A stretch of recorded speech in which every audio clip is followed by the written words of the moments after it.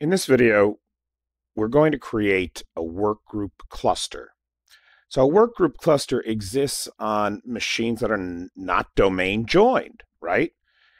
And we've always had a requirement in the past, well, right up until Windows Server 2012 R2 anyway, to have those machines joined to the same Active Directory domain. So workgroup clusters were first introduced for uh, Server 2012 R2 and uh, are supported in 2016 with the addition in 2016 of multi-domain clusters. So today I can actually have servers joined to different domains, but in the same cluster. So we can see here this cluster is going to be created out in the DMZ workgroup. And that's not an uncommon thing, right? Out in the DMZ, I don't want domain joined resources, maybe. I'm concerned about exposing Active Directory out there because that's the area that's most vulnerable to attack. So we've disjoined this machine from the domain. It's in the DMZ workgroup. There are other prerequisites that must be accomplished before we can do this. So the first thing is on the local server, every server that's going to be a member of the cluster, I have to create a user account and I have to make that user account a member of the administrators group, the local administrators group on this machine. Now, legitimately, you can use the built in administrator account. And if you use the built in administrator account, you can actually skip a step. But because we used this uh, MJ Murphy account that I created for this task and made a member of the administrators group, we have to do this. And what this is, of course, is a PowerShell command for creating and placing a parameter value into a registry key. And we do that with the new item property commandlet and specify the path switch and the path to the place in the registry where that should be created. In this example, Windows current version policies system.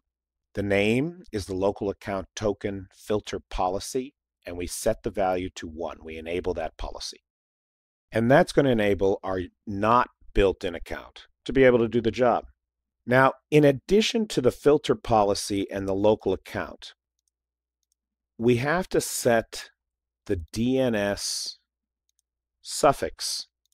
And here, and so you can see we're in the local TCP IP properties of the NIC card. And we've appended the DNS suffix to the local NIC. And to the cluster communications NIC. And we can see that here. And this, of course, is the name of the Active Directory domain that we will not be a part of. Once we've got all of our prerequisites in place, we can now go ahead and create the workgroup cluster.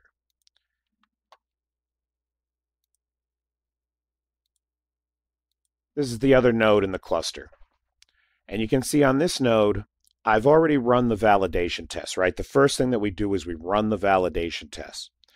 And if we look through these, we can see that these, nothing failed, but I do want to call out a couple of warnings that I got here and tell you why I am dismissing them and moving ahead. And so the first thing here is uh, that we're warned that we're not a member of a domain, but we know that, right? Then we've got some concerns around the DNS suffix search list, but I've validated that. That's right on every NIC. So I'm going to go ahead and create the cluster.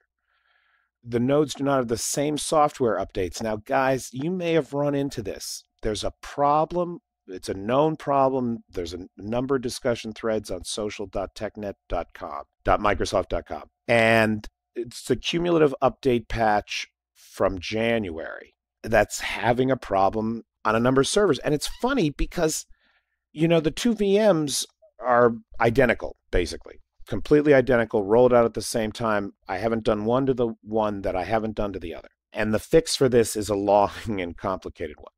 So I'm not worried that I'm one software update out of pace between the two. I'm going to go ahead and create the cluster using the nodes that we specified. So we come in here, give the cluster a name, and we'll call the cluster DMZ. We're going to use the 77 IP address for these, each of the subnets. And we can see that's finished up. We've created the cluster DMZ. We'll finish that up. And the failover cluster manager updates. And I can see my DMZ cluster is ready for further configuration and management. And this is how we deploy workgroup clusters.